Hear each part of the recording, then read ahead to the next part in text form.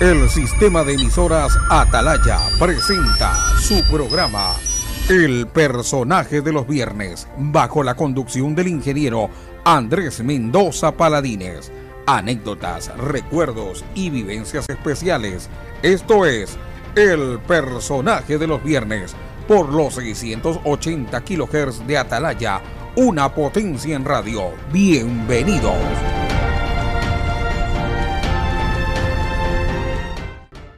Hola, ¿cómo están amigos del personaje del viernes?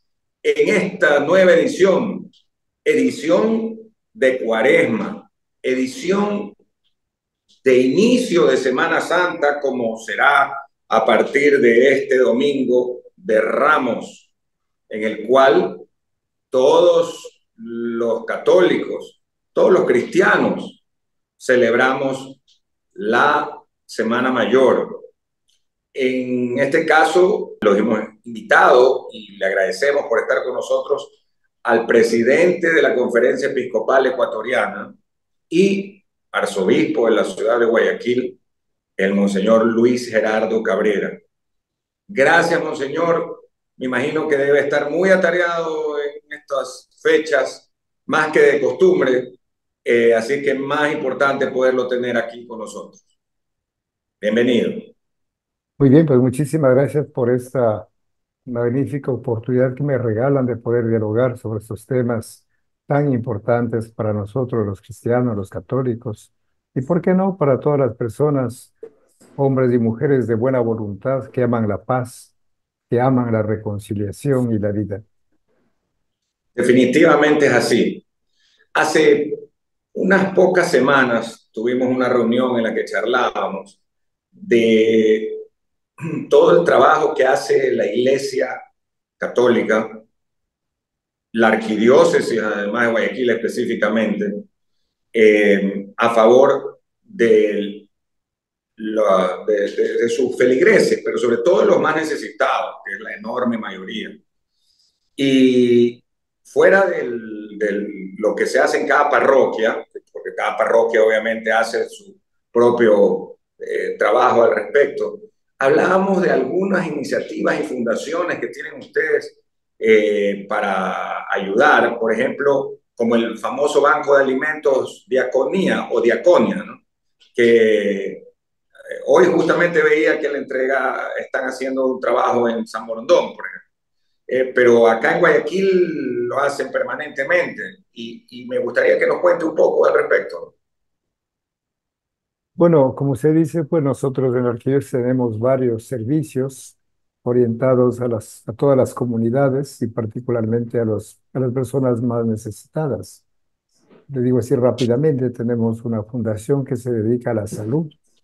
Ahí están varias eh, agrupaciones, Redima, Fundación, Santa Isabel, que en su conjunto... Ya, qué interesante. ¿Y, y cómo, cómo, cómo nos puede contar un poquito de esta, de esta fundación y las instituciones para la salud. Sí, exactamente. Son tres fundaciones orientadas a la salud. En su conjunto estamos hablando más de unos 40 dispensarios médicos ubicados en todos los sectores de la ciudad de Guayaquil y también en otros cantones. Eh, al año, hemos hecho cálculos que atendemos casi a unas 900 mil personas. Entonces, Muchísimo. así es, tenemos... Casi un millón. Exactamente, ¿no? Redima, Fundación y Santa Isabel, como digo, acogen. ¿Cómo funciona eso? Yo creo que es importante. Mire, la mayor parte de, de profesionales dan su tiempo. O sea, ahí, ahí reciben, yo digo, una ayuda, porque no hay un mensual. Por ejemplo, las consultas de ahí máximo cuestan 8 dólares. 8 dólares a los que pueden pagar. que no puede pagar, se le, inclusive se le ofrece gratuitamente. De esos 8 dólares, 5 dólares se le entrega al, al médico o al especialista y los 3 dólares quedan para la administración. Más o menos funcionamos así. Y son médicos, yo digo, de primera, porque ellos dan su tiempo. Eso le iba a decir, porque esos 5 dólares realmente no ha de ser algo simbólico para los médicos. Exactamente, es una cuestión simbólica. Entonces yo digo, pues así llegamos a esos sectores y por eso yo aprendí ahí, tengo que decir, que con pocos recursos, bien administrados, es posible un servicio de calidad. Eso es el área de salud. Tenemos también otra área de educación. Son 21 instituciones educativas. De las 21 instituciones educativas, 19 están ubicadas nuevamente pues allá en los lugares más difíciles, por, por decir algunos, en las cumbres, allá en el monte Sinaí, o al sur, allá. En, en, los Guasmos. Ajá, Entonces, o sea, en las zonas más populosas y necesitadas de la ciudad. Exactamente. Entonces ahí también las pensiones son muy bajas. Entonces, ¿cómo se financia eso? Tenemos una red de solidaridad de tal manera que los colegios que más reciben comparten con los que menos reciben. También tenemos un sistema de becas, igualmente para los niños, para los jóvenes, porque nosotros estamos convencidos que la educación realmente es la forma más oportuna, es la forma, como diría, ¿no? Pues más eficiente de preparar, de formar a los niños y a los jóvenes, para que después sean hombres y mujeres de bien, que puedan defenderse en la vida. Yo digo que la educación siempre será la mejor inversión. Entonces eso tenemos en esa área.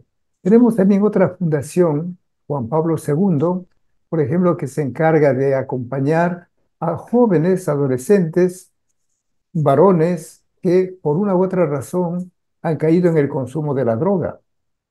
Entonces tenemos ahí un programa terapéutico con algunos ítems. Ah, ok, tienen para rehabilitación de, de, de, consumo de drogas. Exactamente, la rehabilitación Juan Pablo II, tiene una capacidad para 50 jóvenes, pero actualmente están unos 30 a 35 porque vemos que la infraestructura no es la más adecuada para ese número de 50. Pero en todo caso, fíjense, ahí se les ofrece una rehabilitación a nivel médico, a nivel psicológico, a nivel lúdico, también laboral, en el sentido de que es parte de su terapia, y por supuesto también la, la dimensión espiritual. Entonces, actualmente, pues, hemos hecho un convenio con la Junta de Beneficencia, también con la municipalidad. O sea, todos esos trabajos, como ustedes ven, son en red, son en colaboración de muchas personas. Y luego pues tenemos la claro, claro, o sea, hay mucho voluntariado, monseñor, ¿no? Y de, Así de es, de voluntariado. Yo digo, sí. aquí Guayaquil se caracteriza por el voluntariado, la solidaridad, Totalmente. hombres y mujeres generosos, entregados. Para mí ha sido de los grandes descubrimientos, le digo sinceramente, y lo cual valoro inmensamente. Luego tenemos lo que usted comenzaba mencionando, el Banco de Alimentos, que ya vamos a cumplir 15 años, 15 años de servicio. Pues igualmente nuestro trabajo principal es recolectar los alimentos y distribuir. Pero distribuimos a instituciones. A nosotros llamamos agencias, pero bueno, son instituciones que reciben el alimento, lo preparan y dan de comer. Diariamente, pues están comiendo más de unas 12 mil personas. 12 mil, fíjese, ese número es amplio. Pues firmamos un convenio con la Municipalidad de San Al Borondón. mes, 12 mil. Exactamente. ¿no? Ok, o sea que estamos hablando de como 140 mil personas al año. Es, bueno, claro, digamos, ¿no? O, o comidas, o almuerzos, digamos. comidas, de acuerdo, Claro, sí. comidas, comidas, ¿no? Porque también digo, fíjese, también es importante un dato, nosotros ofrecemos alimentos a todas las personas, independientemente de su creencia religiosa, porque estamos convencidos que el alimento está por encima de todo. Entonces, la Así es. firma que tuvimos Qué bueno. con el, con el municipio de San Borondón es para elaborar proyectos. Proyectos en el sentido de que ustedes saben, en esa zona hay muchísimos restaurantes y Es nos verdad. hemos informado que la comida se desperdicia. Cuando hay mucha gente, los niños, los adolescentes, que honradamente a veces comen una vez al día. Y no es del África, no es del Asia, es de Ecuador, No, es no. Guayaquil, es Guayaquil, fíjese. Guayaquil Entonces, y cuando uno, cuando uno descubre esas realidades, perdóneme que le diga, pues se le parte el alma, dice, ¿pero qué pasa aquí, no? ¿Cómo es posible? por supuesto. Pero entonces vamos a organizar proyectos y programas, como digo, para que ese alimento, pues podamos también distribuir a otros sectores. Entonces, eso por hablar de Banco de Alimentos, diaconía. Pero tenemos solo, en solo una pregunta, monseñor. En el caso es este de los alimentos, por ejemplo, en lugares, como usted dice, San Borondón, tiene muchísimos restaurantes y lugares eh, de comida donde se desperdicia. Eh, esa comida en muy buen estado eh, se la se la llevan. ¿Quién se encarga de esto? La gente que colabora en, en diaconía. O sea, de, de repartirla hacia los sectores más necesitados.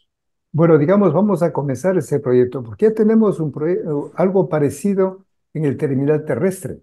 claro, yo era, presidente de la Fundación Terminal Terrestre y me acuerdo haber renovado el convenio con, con usted, y porque ya lo tenían desde antes. Exactamente, ese programa continúa. Entonces, algo parecido se quiere hacer también allá en San Borondón. Lógicamente que hay que formar un equipo de personas gente de buena voluntad nuevamente para que asuma esa tarea, porque es una tarea grande. llevar pues. comida todos los días, llevar como, comida una vez al año es fácil, una vez al mes, pero ya todos los días implica mucho esfuerzo, mucha dedicación, muchas ganas, lo que llamamos mucha una logística. Exactamente, ¿no? O sea, una convicción, una convicción grande. Eso por hablar de Banco de Alimentos. También tenemos una fundación al sur por las Malvinas, es una fundación que se llama Nueva Vida. Y que es una fundación para emprendimientos. Por ejemplo, ahí tenemos una panadería, hay muchas mujeres que aprendieron a hacer pan, ahora están comercializando y así tienen una fuente de ingreso económico. También tenemos ahí, por ejemplo, corte y confección. Hay mujeres que han aprendido ya a, cortar y a coser y están eh, ah, elaborando las camisetas, camisetas, uniformes, entonces, es otra forma de ingreso. Lógicamente, yo digo, son pequeños esfuerzos, pequeños siglos que nos dicen que sí es posible levantarse, salir adelante, en vez de que esas mujeres pues no, no sepan qué hacer, que se dedican a otro tipo de actividades. De actividades. Así es, ¿no? Entonces, eso digamos, también tenemos... ¿Cómo se llama esta última que me decía, este último, eh, este, fundación, la que, la que le enseñan a los oficios eh, a las mujeres? De corte y confección. Corte y confección. Sí, corte y confección tenemos ahí. Y cerca de eso tenemos un albergue para VH. Entonces, es una, casa, una casa, como el albergue dice, es una casa de acogida a las personas que vienen de distintos lugares, no solo de Guayaquil, pues ahí duermen, ahí se les ofrece una comida. También muchos de ellos están en un tratamiento médico. Estamos hablando de unas 100 personas más o menos que diariamente viven ahí, comen, y se hacen atender médicamente. Entonces, esas son, como digo, las principales fundaciones. Y la, Casa del Hombre Doliente también. ah, también, claro, por supuesto, es otra, otra fundación también de la Arquidiócesis, la Casa del Hombre Doliente, que acoge a personas, ahora les llaman a personas de la calle, antes se decía indigentes. Indigentes. realmente son las personas que no tienen familiares ni amigos, absolutamente nadie quien vele por ellos. Entonces, es una casa que funciona ya años. Pero ¿cómo se financia también? Es con la ayuda. Ahí hemos hecho un convenio con el MIES. Con el MIES. Entonces, entonces el Estado también interviene y aporta económicamente. En los demás centros, pues nos valemos solos. Ah, también tenemos otra fundación, la última, es la fundación que se llama Refugio del Espíritu Santo, que nació para acoger a personas de la calle que podrían reinsertarse en la familia y en la sociedad. Pero a raíz de la pandemia, pues vimos que no podíamos continuar, pero apareció otro grupo de migrantes, sobre todo de mujeres. Entonces hemos abierto las puertas para que muchas mujeres que sufren diferentes tipos de violencia, física, psicológica, sexual, familiar, económica, puedan estar ahí. Y ahí hemos hecho un convenio con la municipalidad para que el municipio, es un convenio muy pequeño de 10 mil dólares nada más en el año, para comida, ah. para vestido, para medicina, y nosotros vamos administrando eso y pasándoles por las facturas, pues yo digo, con toda transparencia, con toda claridad. Entonces, esas son las principales fundaciones que nosotros como arqueólogos tenemos que están al servicio de la comunidad. Lógicamente, viendo en su conjunto, al final, yo digo comparativamente, ¿no?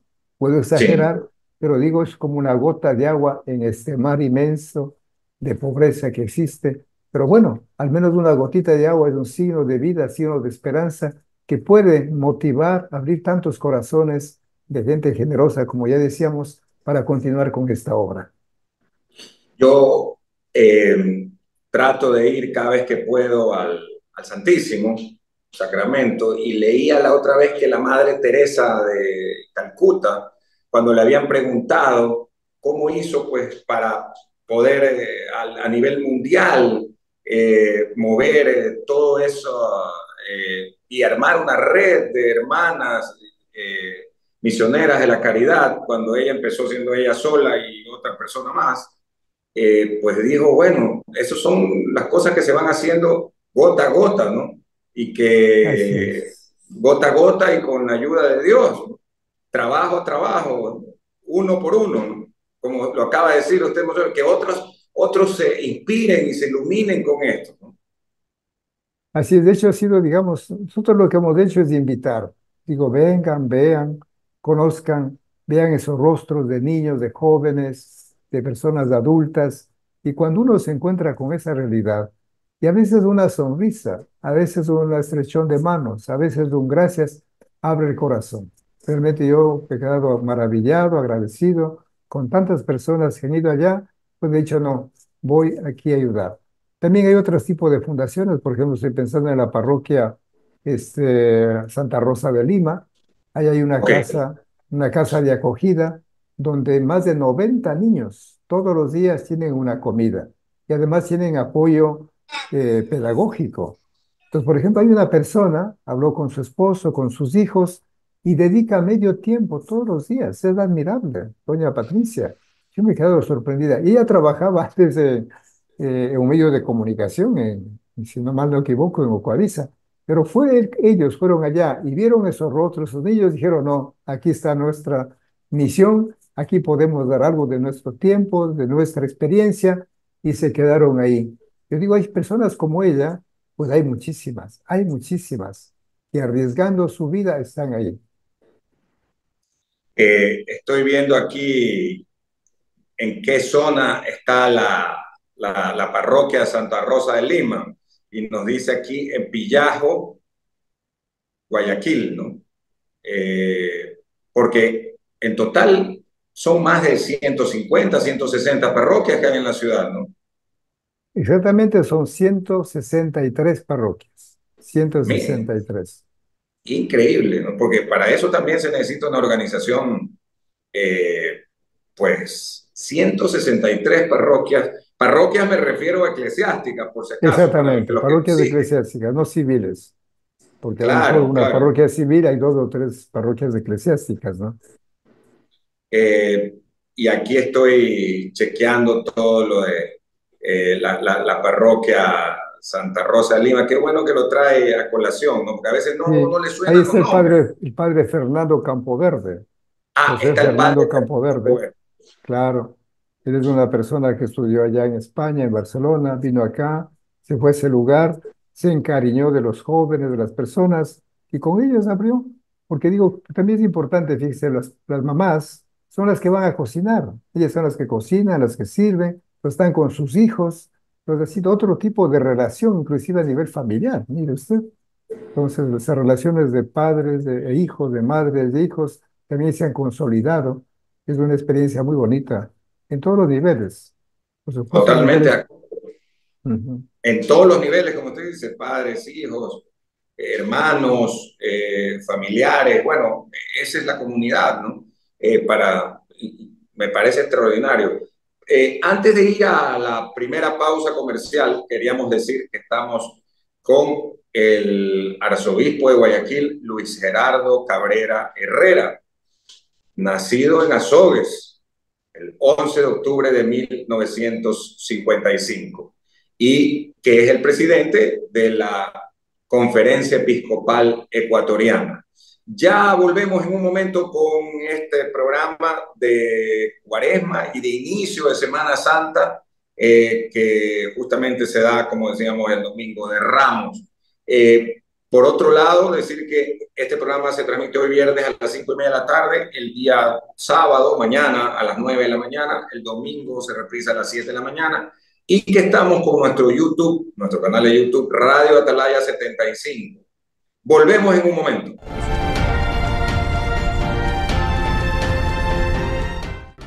Gracias, muy amables por continuar con nosotros en el personaje del viernes. El eh, Monseñor Luis Gerardo Cabrera se prepara para una nueva procesión de Cristo del Consuelo en este año, que recién entiendo que el anterior volvió a ser presencial luego de la pandemia. Cuéntenos un poco cómo va a ser eh, la procesión, que realmente es una demostración conmovedora de fe del pueblo guayaquileño y ecuatoriano cada, ecuatoriano cada año. Bueno, yo antes quisiera cerrar con una frase. Que todas esas obras sociales, llamadas sociales, no son más que la expresión del amor a Dios y al prójimo, porque los dos amores son inseparables. Digo eso porque a veces alguien ha cuestionado por qué la iglesia se dedica a las obras sociales, cuando debería pues concentrarse únicamente en el mundo espiritual. Pero el asunto es que lo espiritual y lo social están íntimamente unidas. Amar a Dios y amar al prójimo son dos amores inseparables. Pero también hay dos amores más, el amor a Dios, al prójimo, el amor a uno mismo y el amor a la naturaleza, al cosmos. Yo digo, son esos cuatro grandes amores que son inseparables. De tal manera que es parte de nuestra vida esas obras sociales. Yo creo que eso es importante también recargar para que vean que lo que hacemos es fruto del amor a Dios y a los hermanos. Eso como una afirmación que me permito completar para cerrar lo de las obras sociales que tuvimos. Y permítame sumar, hay una frase que me gusta mucho, me parece, me parece que es de Santiago Apóstol, pero usted me podrá corregir, que dice que la fe sin obras está muerta. Así es, es de Santiago. Es de Santiago. Es de Santiago, Así es, sí, sí.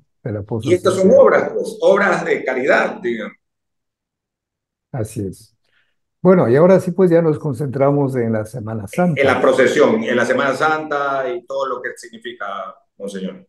Bueno, bueno, digamos, eh, la Semana Santa o Semana Mayor comienza el Domingo de Ramos, con la entrada de Jesús en Jerusalén, una entrada apoteósica, una entrada donde se le proclama, Osana, el Hijo de David, bendito el que viene en el nombre del Señor, en fin. Sin embargo, es curioso, el Domingo de Ramos ya se lee la pasión, la pasión del Señor, porque esa semana está concentrada en la pasión, en la muerte de Jesús y la resurrección. Sea, de todo ese proceso, si quiere, lo más importante es el domingo de resurrección, que comienza con el sábado de gloria, por supuesto. Entonces, durante esos días se va meditando en todo el proceso que le siguen a Jesús para condenarlo a muerte. Y al final son dos razones fundamentales por las que Jesús le condena. La una porque se declara hijo de Dios y le dicen entonces que es un blasfemo. Claro, en la mentalidad del pueblo judío era muy difícil entender y aceptar la presencia de Jesús como Dios. También hay que ubicarse en ese contexto, porque claro, en el Antiguo Testamento se decía, el Señor es uno solo, es uno solo y solo a Él adorarás. Entonces, claro, era muy difícil para las autoridades entender que Jesús es el Hijo. Decía, pero si Jesús, acaso que no lo conocemos, es hijo de José, de María, de Nazaret, y de ahí qué bueno puede salir, absolutamente nada. Yo digo, también es interesante el contexto, ¿no? Esa es la primera razón. Claro, el contexto, como usted dice, es muy interesante. Claro. Entonces, claro, entonces le condenan a la muerte. Pero en esa época estaban dominados o bajo el poder de Roma. Y había una ley que prohibía que todos los pueblos que estaban pues bajo el régimen de Roma puedan ejecutar una pena de muerte. De hecho, según la ley judía, el que blasfemaba contra Dios era condenado a morir apedreado, apedreado. Ustedes recuerdan también el caso de la ¿verdad? Que lo llevaron. Lógicamente ya sabemos qué pasó. Entonces, lógicamente, como no podían ellos ejecutar esa pena de muerte por ser blasfemo, entonces la transforman, lo pasan al campo político. Y lógicamente desaparece Jesús como un subversivo, como alguien que pone en peligro el poder de César, y de esa manera entonces lo llevan a la cruz. Ya no muere apedreado, sino crucificado. Y la cruz entonces en la época, usted sabe perfectamente, y todos los que nos están escuchando, era un instrumento de tortura y muerte. Era pues la pena máxima que se aplicaba a aquellos que habían cometido algún delito. O sea, Jesús al final lo aplican esa pena. Entonces, eso es lo que nosotros eh, celebramos, recordamos los primeros días de la Semana Santa, lunes santo, martes santo, miércoles santo. Y ahí vienen los días que quizás para nosotros también son muy importantes, comenzando por el Jueves Santo. Como decíamos, hay una sola Eucaristía en la mañana. Es la Eucaristía que se llama la misa crismal. Crisma significa Ah, aceite. Entonces es la bendición justamente del aceite para los enfermos, también para los eh, necoatecúmenos, para los que se van a bautizar y de una manera especial para la confirmación. El crisma para la confirmación y también para las ordenaciones sacerdotales y alguna ordenación episcopal. Entonces es una Eucaristía importante para todos los cristianos, porque como usted sabe, Cristo significa ungido cristianos ungidos. Y todos somos Ungidos. ungidos por el, ungidos con el Santo Crisma. Es interesante, ¿no? La misma palabra Mesías significa, en hebreo, significa ungido. El Mesías, el ungido. Entonces somos ungidos por el Espíritu Santo. Es la Eucar- en la mañana. En Que, que para quienes no lo tengan claro, el ungido es el escogido. perdón, El ungido es escogido. Claro, ungido, lógicamente son los, los escogidos, pero a la vez los que son rociados con el aceite. Era la forma como se ungía a los reyes, a los sacerdotes, a los profetas.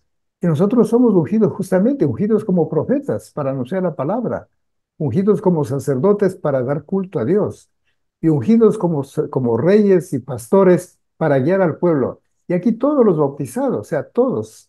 Después vienen los otros ministerios, los servicios, como el diaconado, presbiterado, el episcopado, pero eso es secundario, eso viene después, mire. Lo más importante es justamente en el bautismo, cuando somos ungidos por el Espíritu Santo para ser, como decía así rápidamente, profetas, sacerdotes y reyes. Entonces, Eso le hacen, la, le, le- le- hacen la, con aceite, ¿no? exactamente, del A los aceite de oliva, el aceite Aceite de de oliva. oliva, exactamente. Bueno, esa es la mañana. En la tarde, entonces comienza propiamente lo que se llama el trido pascual. Comienza la Pascua del Señor. Y ahí tenemos entonces la misa, ce- la misa de la Cena del Señor, que es la última cena, cuando Jesús pues ahí come con sus discípulos y donde instituye lo que se llama la Eucaristía. Para nosotros ese es un momento importantísimo, porque es un anticipo de lo que va a ser en la cruz al día siguiente Jesús. ¿No? Entonces, por ejemplo, la Pascua, es importante alguna cosita para recordar la Pascua judía.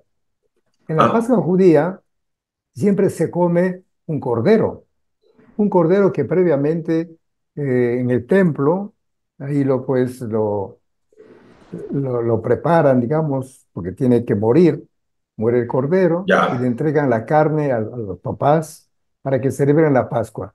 Es, es importante también que la Pascua judía se celebra en la casa de la- cada familia, no en el templo. Como digo, Ah, en la casa. solamente en las casas. Entonces, ahí Y, y es por los mismos días, pues, ¿no? O sea, próxima semana es la Pascua judía. Exactamente, claro, exactamente la, para la Pascua, ¿no? Entonces llega ahí y se celebra la Pascua. Por eso es interesante, Jesús la víspera de la Pascua, fíjese, la víspera, que es el jueves, entonces Sí. celebra la cena del Señor. Pero y ahí hay algunas cosas interesantes. La primera, por ejemplo, Jesús celebra sin cordero, no hay cordero, celebra con el pan. Dice, ¿por qué no el cordero? Porque Jesús mismo es el Cordero de Dios. Él es el Cordero de Dios del Ah, quita el mundo. Fíjese, interesante. Por eso no hace falta el Cordero. El cambio. Un cambio radical. Luego toma el pan y va a decir, este es mi cuerpo, coman. Después hay otro, otro punto importante en la copa del vino. En la alianza, en el Antiguo Testamento, Moisés en el Sinaí, para, sellar la alianza con Dios, ¿qué hace? Mata un cordero, le sacan la sangre y esa sangre rocían, sobre el pueblo. Una sangre rociada, fíjense, ¿no? Viene la aspersión también que se llama. Entonces así, ¿para qué? Para que queden perdonados sus pecados. Y Jesús cambia. Dice, tomen y beban, beban mi sangre. Y no es una sangre que se rocía, sino una sangre que hay que beberla. Entonces Ah, entra en cada uno de nosotros y nos va transformando desde dentro del corazón. ¿Y para qué? para el perdón de los pecados. Fíjense que es interesante. Ajá, por eso es un anticipo de lo que va a pasar en la cruz, donde derrama la, la sangre de Jesús para el perdón de los pecados. Pero hay que beberla, hay que tomarla, fíjense. Y finalmente una frase también importantísima cuando dice, hagan esto en memoria mía o en conmemoración. La palabra en conmemoración. conmemoración. Que conmemorar, según la mentalidad judía, no es un simple recuerdo, no es un simple acto del pasado, sino es actualizar, vivir, revivir. O sea, para ellos cada vez que celebran la Pascua es una acción actual. O sea, no es solamente que pasó hace más de dos mil, tres mil años, sino ahora, dice Jesús, ahora pasa por aquí y nos cura, nos salva. Por eso lo de la conmemoración, eso es clave también para nosotros. Entonces, eso es el Jueves Santo, mire, Jueves Santo. Ese es el Jueves Santo. Solo, solo hay una inquietud. El, en, en ese momento, el pan, el vino. El vino ahora, por ejemplo, a la hora de la comunión, de la Eucaristía, digo actualmente, ya no se usa necesariamente. Hay, hay lugares en el mundo donde me ha tocado eh, que sí dan un poquito de vino, pero ya no es, ah, yo lo hablo de manera simbólica, por supuesto, ¿no? pero ya no se usa eso del, de antes de la copa y de, tomar el vino, ¿no? Solo el sacerdote. Bueno, digamos, eh, el ideal sería comulgar en las dos especies, el pan y el vino. A veces, digamos, se reparte solamente el, pan consagrado, que, también la hostia. A veces son por razones, yo me permito decir, de orden práctico porque sería muy complicado ¿no? en las dos especies. Sí se, sí se admiten dos especies en algunos momentos especiales. Por ejemplo, en un matrimonio, hay especies de la comunión en ambas especies, ¿no? A, los, los, novios. Por, otras ocasiones. matrimonio. Pero claro, nosotros lo importante es saber que recibimos a Jesús. Jesús. Y desde la fe sabemos que Jesús está presente con su cuerpo, con su alma, con su divinidad, con todo su ser, su sangre, todo. Entonces, Partimos de ahí, es que no es que, no es que recibimos un Jesús eh, a medias o una partecita, ¿no? Sino eso también ya, por eso viene toda la catequesis para explicar de qué se trata. Bien, eso es sobre la Eucaristía. Y luego ahora tenemos, Santo. Bueno, todavía faltan dos cosas importantes. Ah, falta todavía el Jueves Santo. Claro, porque muy bien, usted ha visto el lavatorio de los pies. Ah, sí. Ese hecho lo trae el Evangelio de San Juan y es para indicarnos cuál debe ser la actitud de los discípulos, que no es otra que servidores, ser servidores. Claro, en el contexto histórico, quien lavaba los pies era el esclavo o la mujer, esa era la realidad. Y Jesús, siendo el maestro, siendo el Señor, pues toma una toalla y los lava los pies a los discípulos. Por eso la gran sorpresa de Pedro dice, no, no, no, a mí no me lava los pies. Y Jesús le dice, bueno, si no te deja lavar los pies, no tienes parte conmigo en el paraíso. Entonces Pedro dice, está bien, acepta. Pero ese, gesto es importantísimo. Gesto humildad. Claro. Pero entonces ahí queda claro de que la iglesia no es patrona, por decir. Aquí no queremos patrones, sino servidores. Servidores. servidores. Así es. Y luego hay, hay, esa práctica muy bonita también, el Jueves Santo, que es la visita a las siete iglesias, las siete iglesias. Ah, en cada iglesia lo que se hace es ir recordando, retomando el camino de Jesús, el camino de la pasión, porque ahí viene todo el proceso mediante el cual juzgan a Jesús. Entonces llevarán a Anás, pues a Caifás, pues a Poncio Pilato, en fin, por eso tiene, tiene el sentido de acompañar a Jesús en su camino hacia la cruz. Eso es una práctica muy bonita. Bueno, llegamos ya Sí, ah, sí. Hay, hay, lo de la práctica, pero por ejemplo, ahora que la ciudad, no solo Guayaquil, hay otras ciudades mucho más grandes en el mundo, eh, mm, son, son extensas. Eh, las siete iglesias normalmente eh, quedaban más cerca en el centro de, una ciudad. ¿cómo, ¿Cómo se le sugiere a quien quiere hacerlo eh, es quizás ir a la zona céntrica, monseñor. Bueno, digamos, aquí en el centro, pues hemos elegido algunas iglesias, ¿no?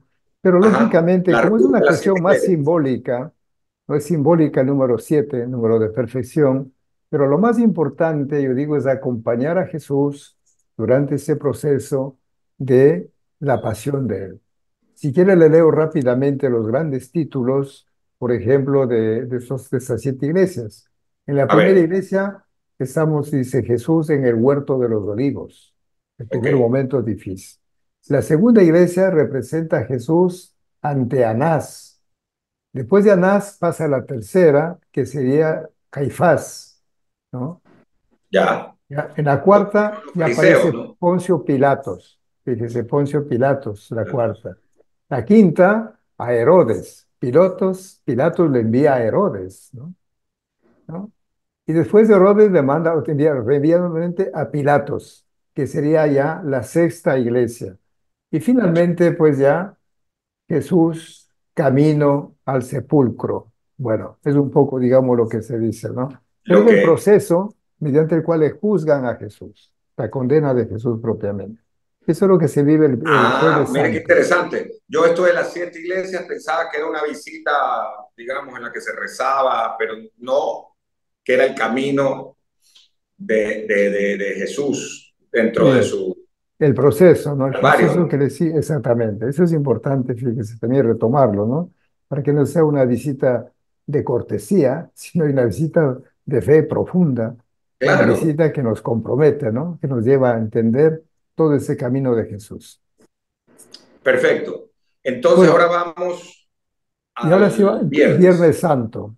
Entonces, claro, el Viernes Santo, o en el Viernes Santo, mejor dicho, se realizan dos actividades importantes. La primera, las procesiones, que vamos a hablar inmediatamente, y la segunda, que es la veneración de la cruz, la veneración, sobre todo en las tardes, en la lectura La Pasión del Señor, porque según la tradición, comienza pues toda la, todo el sufrimiento de Jesús de la mañana y fallece a las 3 de la tarde, ¿no? Más o menos. Entonces, por eso, a partir de las 3 de la tarde, es lo que se llama, nosotros llamamos la veneración o la adoración de la cruz, pero ya una cruz que salva, una cruz que libera, una cruz que da vida, una cruz que llena de gloria a las personas. Es importante el sentido de la cruz.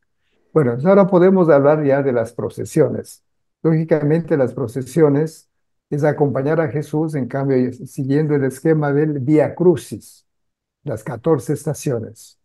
Entonces, hay un material que se ha preparado y me ha llamado la atención que aquí en Guayaquil algo una, tradi una tradición muy bonita, la tradición de que las familias van a la catedral o a las iglesias y rezan el Via Crucis. Sí. Está ubicado alrededor de la iglesia, el templo. Eso yo, me es muy edificante. Realmente yo me he quedado... ¿Y eso no, eso no ocurre en todos lados? ¿Sabe que no? Ah, ya. Que yo no. pensaba que sí, no, porque como soy guayaquileño no conozco otro lugar. Sí, bueno, sí lo hacen, sí lo hacen, pero aquí me llamó la atención es la frecuencia y la cantidad de personas, ¿no? Sí, muchísimo, muchísimo. Sí, sí, sí, sí, eso me ha llamado la atención, que lo rezan el Via Cruz, acompañando, ¿no? Entonces, eso es dentro de la, una y en todas las parroquias, ¿eh? todas las sí, iglesias. Como una pequeña procesión que se hace. Pues viene de las grandes procesiones, lógicamente, la del Cristo de Consuelo en Guayaquil, pues según los, las estadísticas, si no es la más grande, es una de las más grandes que se dan en América Latina. De Ecuador, sin lugar a duda, pero de América Latina, ¿no? Entonces, claro, yo he tenido la oportunidad de participar, a excepción de los tres años que usted señaló muy bien, desde, desde 2019, 20, 21 y 22 que no tuvimos, pero ya el año anterior pues lo retomamos y Dios mediante, Señor, también lo vamos a hacer. Eh, Monseñor, una cosa, en el, el día de, semana, de Viernes Santo es día de ayuno y abstinencia, ¿correcto?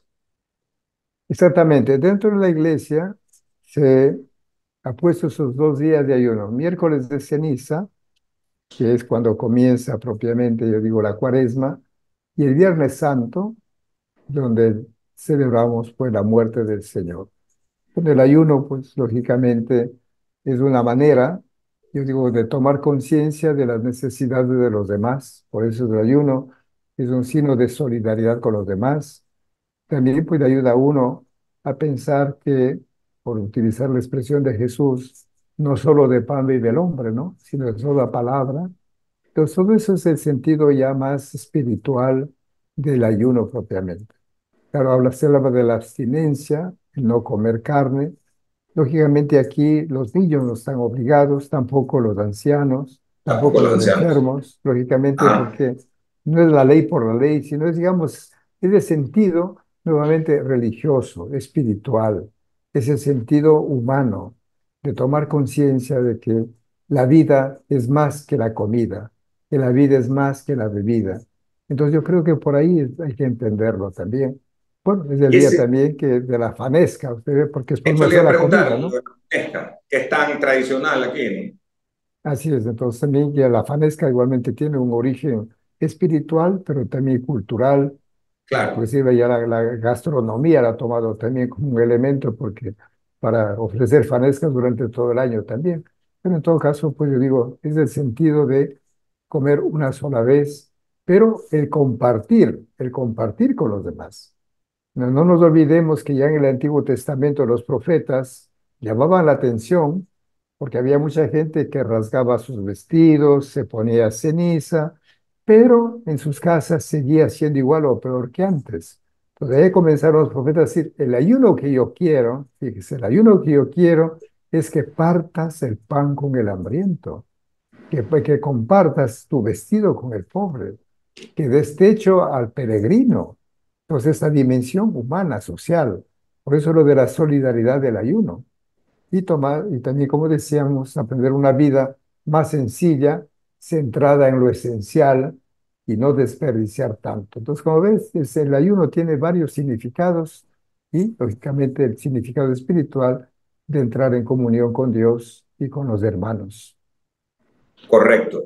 Eh, vamos a, a una consulta. ¿Por qué muchas personas se preguntan, sobre todo los más chicos y las más chicas, el, el día del Via Crucis están tapados todas las imágenes en los templos, en las iglesias? ¿no? Bueno, digamos, es una manera simbólica para decir que es un día de silencio, de luto, Ok, es para prepararnos mejor a la gran celebración. Por eso que el sábado de gloria es la fiesta de- del agua, del fuego, de la luz, ¿no? del canto, de las glorias. Entonces, un poquito para contrarrestar o para ayudar a vivir mejor, sería, ¿no es cierto? Ese sentido espiritual de la luz, del agua, de la gloria, que por eso se cubren las imágenes de- con esa telita morada de manera que decimos, sí, es, es un es verdad, momento de silencio, un momento de reflexión, un momento de encuentro con uno mismo, con Dios. Pero hay, hay que, hay que ver el simbolismo, el por qué se hace eso, ¿verdad? Claro, eso es lo, eso es lo de fondo, ¿no? Ya, vamos al sábado. Entonces, el sábado es el día de, de la luz, del agua, nos decía usted, eh, de la esperanza, ¿no? Claro. ¿Qué, Bueno, qué tal vez, más sábado? tal vez decir que la, la veneración de la cruz generalmente termina con la comunión. Sea, el Viernes Santo se distribuye la comunión, pero no hay Eucaristía. Simplemente se distribuye lo que la reserva de Jueves Santo, es la que se, eh, se entrega, se comparte, pues así termina el Ah, Viernes sí, Santo. sí, porque hay ceremonia, ¿no? Sí, hay ceremonia Claro, la hay una iglesia, sí. ceremonia justamente de la veneración de la cruz y la comunión. Y bueno, y el sábado santo, igualmente, pues sobre todo a partir de las 6, 7, 8, 9, 10 de la noche, pues comienza la gran fiesta. Entonces, la primera parte es importantísima. Es la parte que se llama de la, bueno, es ahí la bendición del fuego. También ahí, fíjese, de una manera simbólica, están apagadas las luces, se enciende el cirio pascual, el cirio pascual, hay un fuego, igualmente, que hay que avivarlo. Después ya, de ese cirio pascual que representa a Jesús resucitado, entonces van y prendiendo las otras velitas también, es una manera de compartir el fuego, de compartir la vida del Señor. Como ven, es un simbolismo, es un símbolo del cirio pascual. Entonces, una vez que se llega al templo, ya al altar, entonces ahí comienza el pregón, que es el anuncio de la resurrección. Entonces alguien canta, hace un recuerdo también de los distintos momentos que atravesó la historia de la salvación y entonces, claro, terminado el pregón pascual, Entonces viene un momento importante que es la liturgia de la palabra, la palabra de Dios. Entonces hay algunas lecturas, por lo menos son siete, ocho, nueve lecturas del Antiguo Testamento, el Nuevo Testamento, hasta llegar pues ya al texto donde se habla de Cristo resucitado. Y ahí sí entonces ya se encienden las luces, el canto de gloria, en fin, es la fiesta, la fiesta de la luz porque Jesús ha resucitado. Pues fíjense, ese es, ese es el objetivo de la Semana Santa y de toda la cuaresma, de toda, la, cuaresma, claro, de preparación, porque digamos, llegamos al culmen, a la fuente de nuestra fe. y ahí sí hay, hay, textos bellísimos de ahí, me viene solo a la memoria lo de San Pablo que dice, si Jesús no hubiera resucitado, seríamos los más ilusos, seríamos, una palabra fuerte utiliza él, seríamos los más desgraciados o desdichados de la tierra, porque imagínense. Ya, Entonces, con la resurrección es que vuelve a tener sentido lo que Jesús predicó, lo que él hizo, lo que él pues enseñó a los demás, en fin, todo eso, ¿no? Por eso la resurrección para nosotros es la fiesta de las fiestas. Es la fiesta de las fiestas, ¿no? Es, es por encima incluso de la natividad. Así es, sí, sí, Bueno, la Navidad, lógicamente, es el inicio, ¿no? El gran inicio, la encarnación, por supuesto. Por eso decía, son las dos, las dos fiestas fundamentales, la Navidad y la resurrección. Navidad y resurrección. Y alrededor de la Navidad y la resurrección gira todo, todo, todo, todo. todo. Por eso que la Navidad tiene un tiempo de preparación que llamamos Adviento. Y la Pascua de Resurrección, otro tiempo de preparación que llamamos Cuaresma ah, mire, qué interesante, qué, qué buena la relación, ¿no? El tiempo de preparación en lo uno y el tiempo de preparación en lo otro. Claro, así es. Eh. Muy bien, vamos a ir a la pausa comercial. Yo me, quedaba una duda. Esos días, usted, como arzobispo de Guayaquil, eh, pero en general todos los sacerdotes tienen un trabajo muy intenso confiesan, dan misa, van a las procesiones, etcétera. ¿Cómo hacen para multiplicarse esos días? Bueno, ya, eh, como estoy en una preparación, por ejemplo, hay una iniciativa muy bonita en la Vicaría del Sur. Por ejemplo, todos los párrocos de, de esa zona se han puesto de acuerdo para durante este tiempo hacer las penitenciales. ¿En qué consisten? Van a confesar entonces dicen, por decir, en esta parroquia Cristo Rey, las confesiones son tal día. Y ahí van todos los sacerdotes vecinos a confesar. Después la, las confesiones de la parroquia tal día y todos van allá. Pues fíjense, es una manera muy práctica para solucionar este problema. claro. En realidad, porque si no sería imposible. Imagínense uno que tenga que conversar a 100, 200 personas. Pero como van 5 o 10 sacerdotes, entonces es más fácil atender. Claro.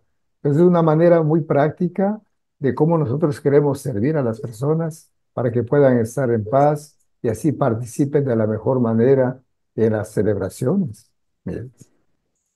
Muy bien, vamos a ir a la pausa comercial eh, luego de este bloque tan importante, trascendental dentro de lo que es la, la, Semana Santa. Valía todo el detalle que nos ha hecho eh, Monseñor Luis Gerardo Cabrera y gracias por el tiempo, Monseñor, de, de poderlo explicar. Vamos a ir a la pausa y regresamos inmediatamente. Otro dato a propósito de Monseñor, antes de ir a la pausa, es que es eh, de el sacerdote franciscano y que eh, pues eh, fue, o mejor dicho, tiene un doctorado él en la aquí estamos viendo, estudió filosofía y teología en la Pontificia Universidad Católica del Ecuador, eh, tiene su licenciatura y doctorado en filosofía en la Pontificia Universidad de Antonianum, que me imagino es en Roma. Sí, sí, así es.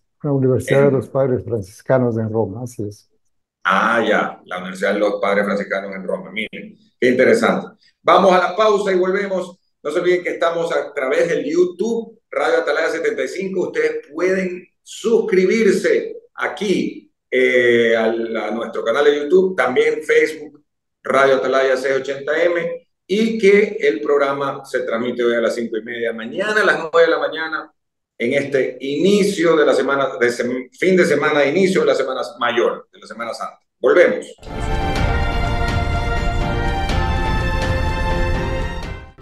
Muy gentiles a todas las personas que nos siguen a través del personaje del viernes, entrando en la Semana Santa en esta edición muy especial, no solo en la parte espiritual, sino también de entender de lo que estamos viviendo todos los católicos cristianos en el mundo.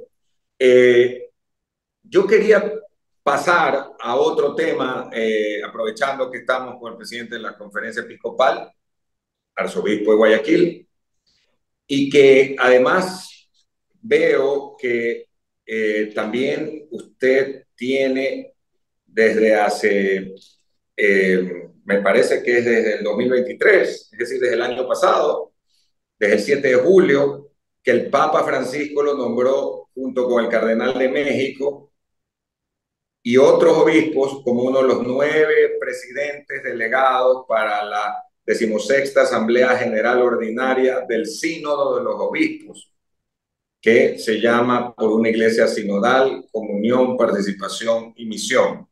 Gracias. Eh, ¿Cuándo, es el sínodo? Bueno, digamos, el sínodo se desarrolla en dos sesiones. La primera fue ya en octubre de 2023, a la que tuve la oportunidad de participar. Y la segunda sesión va a ser en octubre de este año. Así Dios mediante, pues como señor David de la Torre, que fuimos delegados por la conferencia episcopal, viajaríamos también a este segundo momento importantísimo de este camino sinodal que se llama, que el sínodo en pocas palabras es, digamos, del encuentro de las diferentes vocaciones. Eso, eso le iba a preguntar. Para poder, claro, es una palabra, como muchísimas palabras que tenemos en la lengua castellana, de origen griego. Okay. De, la palabra sínodo significa con y dos es camino, que traducido es caminar juntos, caminar juntos. Somos una iglesia que camina juntos, que vamos hacia adelante y vamos pues en comunión, en participación y la misión, anunciar el Evangelio. Esa es la misión. Y cuando hablamos de vocación, vocación, pues ahí están los sacerdotes religiosos, las religiosas y los laicos, que son la mayoría, la mayoría. Y permítame un detalle muy hermoso del sínodo. Tuvimos ahí las mesas redondas. Y en esa mesa redonda estábamos de todas las vocaciones, cardenales, obispos, sacerdotes, religiosos, laicos, hombres, mujeres, formidable, o sea, un signo extraordinario. Entonces, ¿para qué? Para escuchar la palabra de Dios, para discernir juntos qué vamos a hacer, cómo vamos a hacer, y luego tomar decisiones, porque es el proceso, ¿no? Escuchar, reflexionar y decidir. Entonces, miren, eso es un trabajo muy bonito que el Papa Francisco tuvo la bondad, como dice ahí, de nombrarme, pues, presente delegado, que en otras palabras es un moderador de una sesión plenaria. Ok. Ah, ya. ¿Y cuántos, cuántos arzobispos, obispos van más o menos a un sínodo en, en, en Roma, para tener una idea? Bueno, eh, estuvimos exactamente el número de días del año. 365. para no olvidarse, 365 entre obispos, sacerdotes, religiosos, laicos. La presencia de la mujer fue muy significativa y también de los jóvenes. Ay, ay, ¿cómo así? Porque, decir, porque el Papa los invitó. el Papa Francisco, pues con e, en esta apertura de escuchar a todos, pues tuvo ese gesto, ese gesto, yo digo, de, cordialidad, ¿no? sé, un gesto fraterno, un gesto de pastor, de pastor. Que vengan todos a escuchar para escucharnos, para saber qué es lo que piensan, sienten, por dónde vamos. Entonces ahí se entiende la palabra caminar juntos, el, lo sinodal. Increíble, ¿no? Qué, qué bueno eso que nos cuenta, increíble. Eh, eh, a propósito de congresos, este año el Congreso Eucarístico internacional se va a llevar a cabo en Quito en el mes de septiembre. Y se había anunciado hace algún tiempo, incluso el año pasado, de la posibilidad de que venga el Papa Francisco a una visita corta a la capital de la República. Eh, no sé si eso se mantiene en pie o todavía no, no se confirma. ¿Qué hay, ¿Qué hay de cierto en eso? Bueno, por responder directamente a su pregunta, ¿no? Pues podríamos ampliar otros elementos, los aspectos del Congreso que son importantes. Sí, por favor, empecemos ahí, empecemos por ahí. por ahí. Mire, lo que el Papa generalmente asiste es a la Eucaristía de clausura, de clausura, y que sería, como es del 8 al 16 de septiembre, pues él vendría para la misa del 16. Claro, tendría que llegar a la víspera, a lo mejor es un día después, pero es solamente para eso. O sea, no vendría una visita oficial ni al Estado de Ecuador, ni a los católicos en Ecuador. Lógicamente ahí hay que ver varios factores. Digo, uno, la salud del Papa, que tiene ya sus 87 años, la edad, la salud, las distancias. En todo caso, pues queda abierta esa posibilidad. Pero ¿cuándo sabremos eso? Pues ahí la Santa Sede, con el gobierno ecuatoriano, son las, son las entidades indicadas para decir si viene o no viene. Y eso fue lo, que, el señor Nucio también en un comunicado dio a conocer. Entonces, como digo, dos datos. Primero, de venir vendría solamente a la clausura. Solo a la clausura. Nada más. Y no es una visita oficial de no, Estado. No, no, es oficial. Entonces, no es visita ni pastoral, ni diplomática, en absoluto. Entonces, eso quedó. Y repito, pues ya quienes comunicarán oficialmente serán la Santa Sede y el gobierno ecuatoriano. Magnífico. Ahora entremos a la parte del, del, Congreso. Claro, ahora el Congreso, digamos, primero para mí lo importante es la ocasión. ¿Qué es lo que ha motivado que el Congreso sea en Ecuador? ¿Qué? Sí, porque ha sido en varios lugares del mundo, ¿no? Claro. Y la ocasión es esta que se están cumpliendo 150 años de la consagración del Ecuador al corazón de Jesús. Y esos 150 años cumplimos el próximo lunes, el lunes santo. El lunes santo, imagínense, el 25 de ah, marzo. Ok, el 25 de marzo. Claro, el 25 de marzo. Y por eso entonces vamos a celebrar en todas las diócesis una Eucaristía especial para renovar este compromiso que como el pueblo ecuatoriano se realizó hace 150 años. Habrá una celebración oficial que va a ser el 10 de abril, allí en la Basílica del Voto Nacional. Entonces, esa es la, ocasión, creo que es importante. Entonces, el Papa, pues, tuvo la gentileza, el beneplácito de decir, nombro a Ecuador y la sede de Quito para que se realice el, el 53 avo Congreso Eucarístico Internacional. Mire, esto es importante. Entonces, como ya dije, será en Quito del 8 al 16 de septiembre. Previamente, unos días antes, pues, lógicamente habrá también un simposio sobre la Eucaristía. Lógicamente, esto está orientado pues ya a peritos, a teólogos, a biblistas y todas las personas que quieran, ¿no? Son como un ciclo de conferencias, como se organizan los grandes simposios en las universidades y en otros espacios. Y el Congreso propiamente comienza, como digo, ya el 8 de septiembre. Se calcula que en el Congreso estarán unas 5.000 personas invitadas. 5.000. ¿Qué se hará en el Congreso? Habrán una serie de conferencias o catequesis que se llama. Habrán peritos que están exponiendo sobre diferentes temas, sobre la Eucaristía. También tendremos grandes celebraciones, celebraciones por idiomas, se van a hacer ahí porque como es internacional, entonces habrá una iglesia, se celebrará por decir en alemán, en otra iglesia en castellano, en otra en portugués, en otra en ah, francés, en italiano. Pero diferentes iglesias en Quito. En Quito, en Quito, sí, todo en Quito, claro. Celebraciones de Eucaristía. Diferentes idiomas, entonces. Claro. Y la, la Eucaristía de clausura será eh, allá en el Parque Bicentenario, antiguo aeropuerto, el antiguo aeropuerto de Quito. Ah, claro, claro, el antiguo aeropuerto Mariscal Sucre. Exactamente, entonces ahí será la gran celebración. Y luego, pues ya lo más importante, si se quiere, son los frutos del Congreso, que esperamos pues sean abundantes en las personas que vayan. De hecho, ¿cómo acceder allá? Pues se ha asignado a, a las diócesis 200 cupos. Nosotros tenemos 200 cupos para inscripciones para el Congreso. Entonces estamos distribuyendo, vienes viendo quién quiere ir, cómo hacer, todo lo demás. Eso a propósito de las eh, inscripciones que son importantes tenerlas en cuenta. Otro punto importante quizás es lo de el, el lema, el lema del Congreso. El lema del Congreso es fraternidad para sanar el mundo. Es un lema muy bonito porque la invitación es a encontrarnos como hermanos. Esa es la fraternidad, no vernos como rivales, como enemigos, sino como hermanos. Y eso hace que sanemos las heridas del mundo. Hay muchas heridas.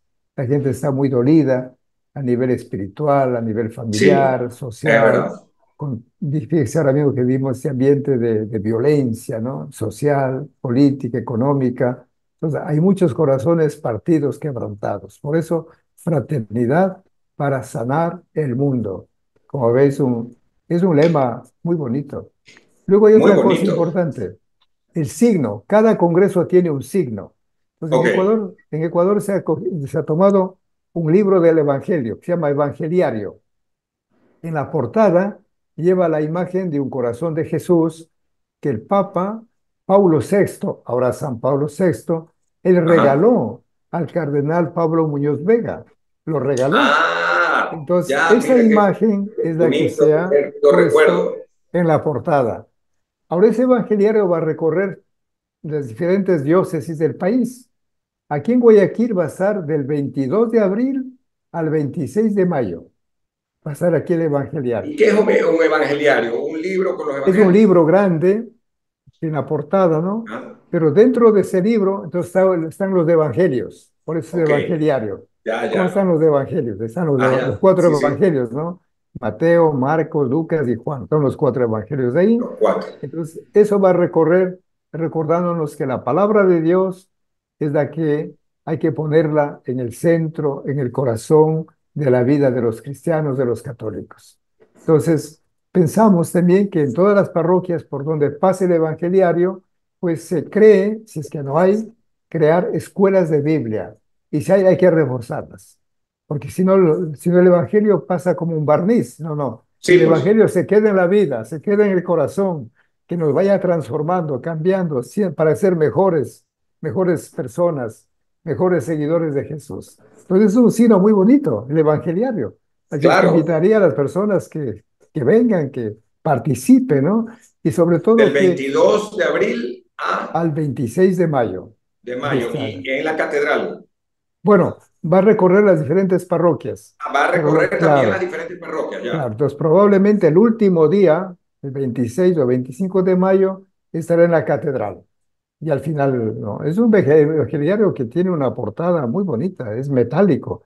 Y ese evangeliario, un detalle interesante, lo bendijo el Papa Francisco.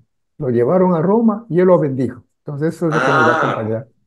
Ah, o sea que en su momento se lo entregó el Papa San Pablo VI. Claro, la imagen. Pero ya una vez que hicimos del evangeliario, la comisión encargada hizo un viaje de Quito a Roma. Y ahí pues lo, entre, lo mostró al Papa y lo bendijo el Papa, Papa Francisco, lo bendijo el Papa Francisco para que podamos nosotros tenerlo aquí y comunicarlo pues a las personas que deseen. Increíble, qué, buen, qué bonito y no, no sabíamos realmente cuál era el signo, como usted dice, de, de, del Congreso Eucarístico. Eh, vienen, o sea, ¿quién lo preside? Eh, bueno, eh, la, Eucaristía de clausura, como digo, si el Papa, lo preside. El Papa. Si no viene, vendrá un subdelegado, claro. Un delegado. Después acá en Guayaquil ya, eh, ¿quién preside? Bueno, los párrocos, y van a sus parroquias. Cuando venga la catedral, pues Dios mediante, estaremos los tres obispos de aquí para presidir esa Eucaristía. Pero, pero digo, durante el Congreso, el Congreso Eucarístico. Ah, durante el Congreso. Bueno, le cuento que no es fácil preparar un Congreso para cinco mil personas. No, pues sí, tiene, como usted dice, primero que para conseguir la sede no es fácil. Segundo, claro. Años de preparación. Entonces tenemos equipos, hay muchísimas comisiones, una comisión de logística, por ejemplo, encargada de todo, la, comida, el hospedaje. Pues transporte. Otra, otra, comisión de transporte, exactamente transporte, Otra comisión encargada ya de la parte más litúrgica, todas las celebraciones. Imagínense lo que es preparar el vino, el cáliz, los copones, los ornamentos, ¿no? Cíngulos. Es un trabajo impresionante, ¿no? Luego también, luego también hay, hay otra comisión ya que se encarga de coordinar, de moderar las, eh, participaciones de las personas que van a intervenir. Entonces, igualmente, todo lo que es la Secretaría de Inscripciones, eso es un trabajo pequeño, pese a que son cinco mil. Pero yo sí quisiera recalcar algo. Yo digo, para nosotros es verdad, como cristianos, como católicos, lo más importante es esta dimensión espiritual, el encontrarse con Jesús, volver a descubrir cuánto nos ama y por amor que se hizo pan y ese pan se nos alimenta a nosotros, nos dio su cuerpo en forma de pan. Esa es la parte importante. Pero también aquí, ya como ecuatorianos, fíjense, es un honor, porque imagínense, es una ventana, una puerta que se abre al mundo entero.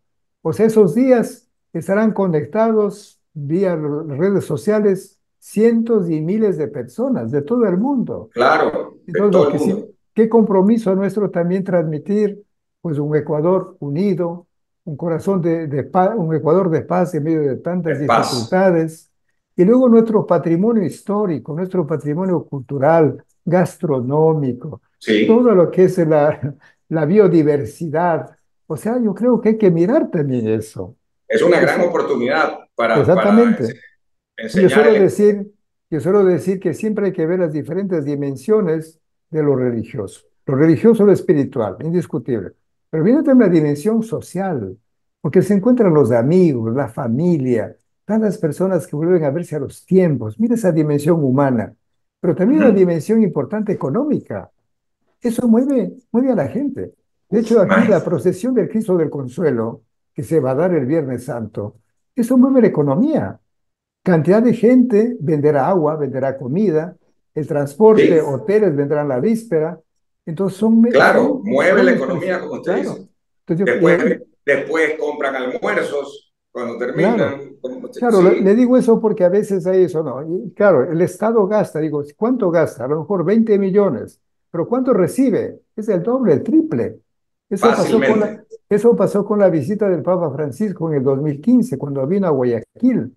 Había muchas voces que decían, pero ¿cómo es posible que el Estado invierta tanto? pero no se daban cuenta cómo la gente recibía otro tipo de beneficios. Entonces, volviendo al, Congreso Eucarístico en Quito, igualmente va a haber un ingreso económico muy grande para muchas personas, cinco mil personas. Mueve la economía. Hoteles, comida, transporte, recuerdos que comprarán, o sea, de economía. Y la dimensión que llamo también ya cultural. Qué momento tan importante para que conozcan nuestras costumbres, nuestras tradiciones, artísticas, en fin, todo. Y luego eh, la, la, vida, ¿no? Que nos conozcan los ecuatorianos, que todas esas noticias que han sido exageradas, agigantadas fuera, que vengan y vean que somos personas de paz, personas de paz. querendonas, como decimos, amables.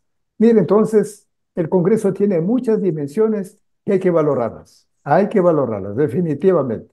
Gracias por explicárnoslo tan, con, tan meridiana claridad y yo creo que esto era algo fundamental de poderlo entender, porque muchas veces si uno como comunicador no lo sabe, la, la, la, ciudadanía tampoco. Y yo creo que esto lo vamos a reiterar todo este tiempo. Así es que muchísimas gracias, Monseñor eh, Luis Gerardo Cabrera. Gracias por estar con nosotros. Y bueno, eh, a todos el deseo de, que puedan disfrutar de este extraordinario programa. Y la próxima semana, entonces, o mejor dicho, el domingo, ya empezamos la Semana Mayor, como habíamos anunciado. Muy gentil. muchísimas gracias y que Jesús resucitado nos infunda de paz, de esperanza, de confianza, que es lo que más necesitamos los ecuatorianos en estos momentos difíciles, cruciales, pero que nos abren hacia días mejores. Muchas gracias. Totalmente de acuerdo. Un gran mensaje final. Nos vamos a la pausa y regresamos ya con la programación regular del sistema de emisoras Atalaya. Este ha sido el personaje del viernes, una edición especial de Semana Santa.